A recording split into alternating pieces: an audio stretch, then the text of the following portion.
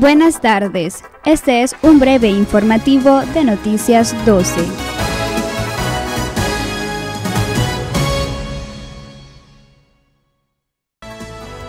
Inicia el traslado del material electoral a diferentes zonas del país.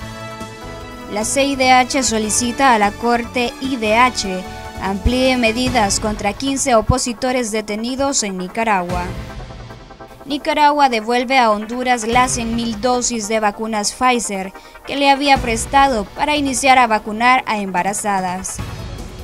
Desde muy tempranos, familias capitalinas llegaron este primero de noviembre al cementerio periférico, unos a visitar a sus fallecidos y otros para comprar los arreglos florales para este 2 de noviembre.